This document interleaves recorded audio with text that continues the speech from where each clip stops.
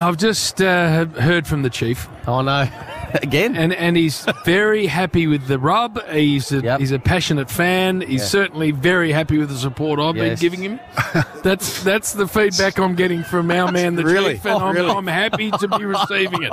So, I- Jim, I- I, know I get potted. I know blokes in there like try you know try and backdoor me a bit, but I'm very happy with the fact that you are front and centre in your support of me. And I said, Chief, I love doing it. So I think you should be investigating some personal security, Yeah. uh, Jim, because Yep. as he's getting older, Chief, he uh, he didn't care a lot at any stage that I've known him. He hasn't doesn't have a lot of empathy, but I, I fear he may do something reckless around you uh, at some point. How long since you've seen him, Jim? I, I 'Cause, don't uh, get front and centre with the chief often enough. it's building up. I like I, he's, a, he's a friend of mine. I like seeing him, Duke, and I haven't seen him enough, the chief. But um, yes, 'cause some of his commentary during the rub wasn't wasn't complimentary of what people were doing. Really, and I, don't- I don't know what is wrong with the chief. I need to go and have a coffee with him, not known for his sense of humour, Chief, and I think he's actually that's tapering off too, if that's possible. Well, if a man takes himself into a solarium did you catch Multiple that? times. Did you catch multiple with uh, times, Yes. That- and then leaves the solarium not brown enough, so doubles down. A double sizzling. a double sizzle and he's not got any clothes on,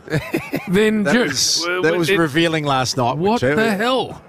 He's lost it. And names a session after himself, the Chief Sizzle. The Chief Sizzle. He names this guy's mum Chief. has got scarring, She hasn't been able to work and then of course she might have put caught up with the fact that Duck then admitted that he was a solarium. Well, we know that. I said I said I'd had one in my life, Yeah, multiple. and I reckon Yeah, one. Oh, one. Well, One there means was another multiple. story that came out of that. Was I- Nathan Brown revealed to us last night that he went round to the coach's Yeah. house to have a.